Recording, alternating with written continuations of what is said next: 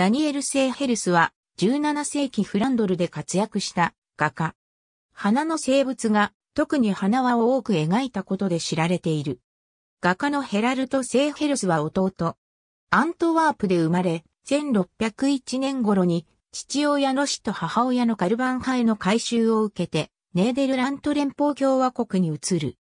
1611年にはアントワープに戻り、ヤンブリューゲルの工房に入る。再度カトリックに改修した後、メヘレンでイエズス会士の見習いとなる。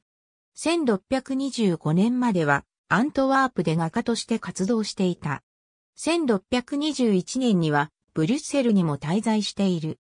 セイヘルスに関して1625年に聖職者に除任されたという意見もあれば、平修士のままであったという意見もある。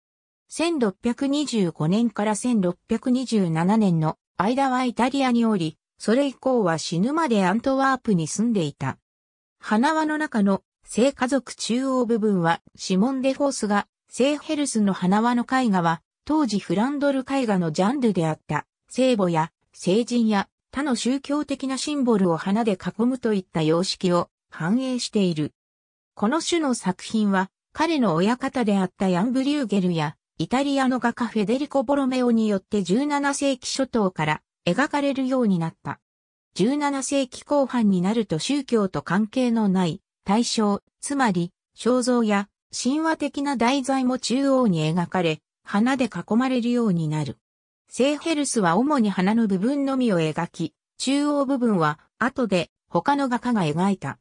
セーヘルスの共同制作者は主に地元の無名の画家たちであったが、コルネリス・スフート、エラスムス・クエリヌス2世、アブラハム・ファン・ディーペンベーク、シモン・デ・フォス、ヤン・ファンデン・ヘッケ、ゴンザレス・コックス、ルーベンス等と共同制作した。W、トーマス・イラボー・アーツ・ボスト・シャートは、セーヘルスの助手として名前が挙げられている。セーヘルスの作品は、彼の生きていた間にも大変な人気があり、収集の対象でもあった。また、彼の作品を模写する画家も現れた。彼の作品は、デンハーグのフレデリック・ヘンドリックの宮廷で人気があり、収集されていた。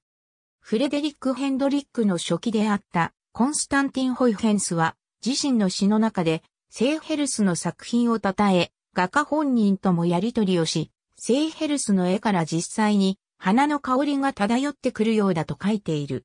オランダの詩人ヨースト・ファンデン、フォンデルもまた、セーヘルスの作品を高く評価していた。